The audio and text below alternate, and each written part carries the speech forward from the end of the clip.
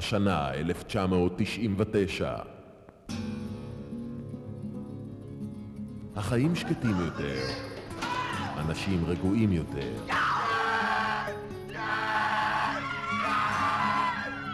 סוף המאה, האם האהבה עדיין אפשרית?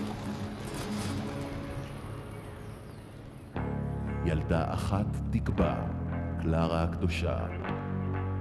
יש אצלנו אחת בכיתה שיודעת מה יקרה בעתיד. קלרה. קוראים לה קלרה.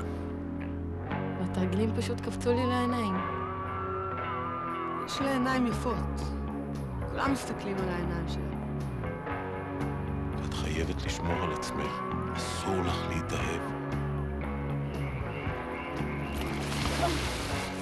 ולעולם לא תלך עם גדולה כמוך.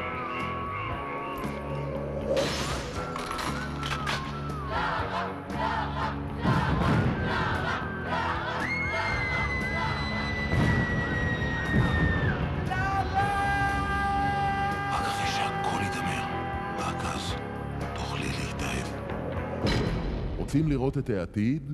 בואו לראות את קלרה הקדושה.